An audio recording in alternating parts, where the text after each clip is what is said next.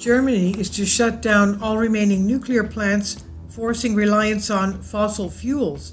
For the energy industry in Germany, the nuclear phase out is final. This is by Thomas Caccianetti, Daily Caller News Foundation on WND.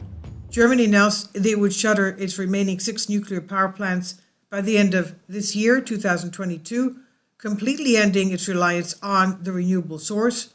It's not a renewable source, I wouldn't call it that. Anyway, uh, for energy, uh, the industry in Germany, the nuclear phase out is final. Kerstin Andreae, head of the nation's largest energy industry associated association, told Reuters.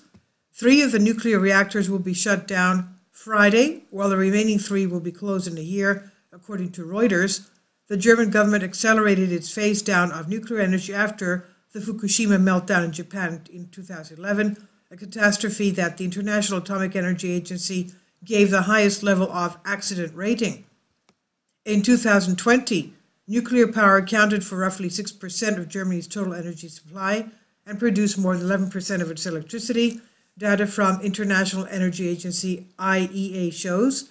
And by comparison, nuclear power accounted for more than 13% of the country's total energy supply and produced nearly 30% of its electricity in the year 2000. Each country pursues its own strategy to fight man made climate change, German Chancellor Olaf Scholz said on December 10. When asked if nuclear energy is sustainable, Reuters reported What's, what unites us is that we recognize that responsibility and are ambitious. Scholz stopped short of explicitly labeling nuclear a renewable energy source. Reuters reported nuclear energy does not produce any emissions and is considered clean by the US government. God forbid if something goes wrong, like it did in Fukushima, though.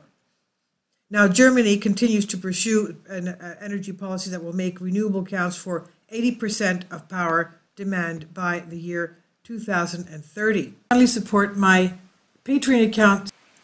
The daily posts are five videos daily, and they are totally different from what I have on my YouTube channel.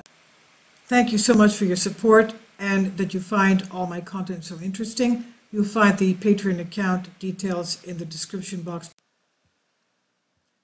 But the move to shut all nuclear plants in Germany is expected to make the nation more reliant on fossil fuels, according to the Center for Promotion of Sustainable Development.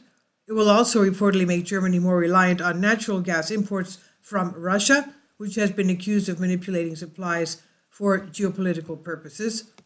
The country ultimately plans to generate most of its power from solar and wind in the future, two renewable sources that have been criticized as unreliable and intermittent. Europe is currently in the midst of an energy crisis, as we know, largely because wind blew at levels well below capacity, forcing greater natural gas reliance and driving energy bills up.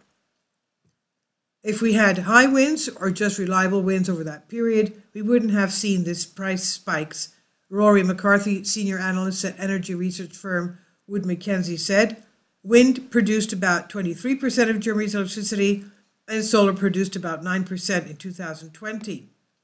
Meanwhile, France and the UK have doubled down on nuclear power to achieve their ambitious reward, uh, renewable energy goals.